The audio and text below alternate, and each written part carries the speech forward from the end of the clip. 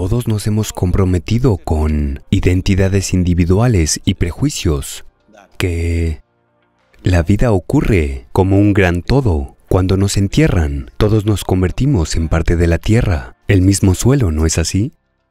Eso explica los miedos de la ideología, las ideas y los pensamientos del otro.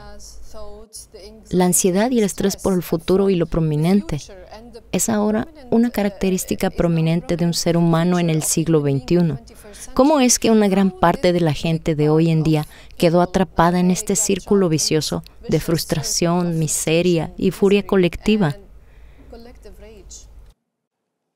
Mira, si te fijas, lo que sucede dentro de un ser humano es enteramente causado por él o ella dentro de ellos mismos.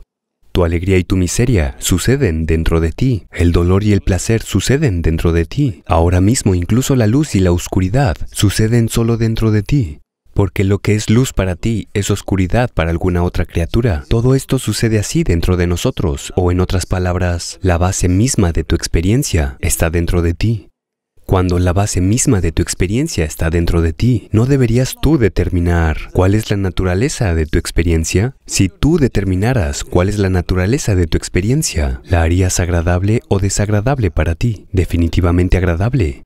Si hay una elección ahora mismo dentro de ti, ya sea estar dichoso o estresado o miserable, ¿cuál es tu elección? Definitivamente ser dichoso.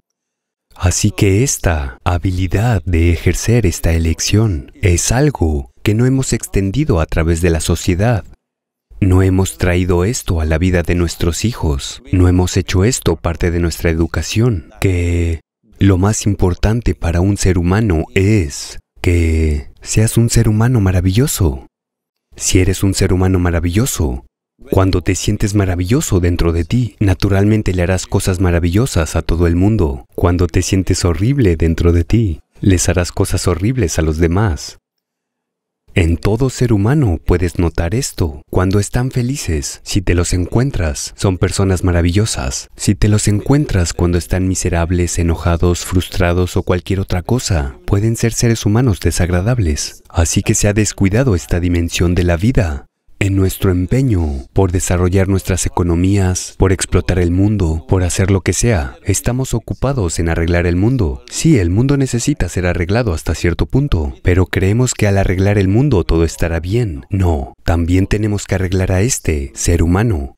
Arreglar a este ser humano significa todos nos hemos comprometido con identidades individuales y prejuicios desde el simple aspecto del género, somos la misma especie, pero el género casi nos ha convertido en dos especies diferentes. Las naciones, las ideologías, la raza, la religión, todo tipo de cosas han dividido y fracturado a la humanidad de tantas maneras diferentes. Es hora de que les inculquemos esto a nuestros hijos y a las generaciones futuras, que la vida ocurre como un gran todo, pero es la magnanimidad de la creación la que nos da una experiencia individual, pero en realidad está sucediendo como un todo. O entendemos esto ahora, o lo entenderemos de todos modos cuando nos entierren. Cuando nos entierran, todos nos convertimos en parte de la tierra, el mismo suelo, ¿no es así?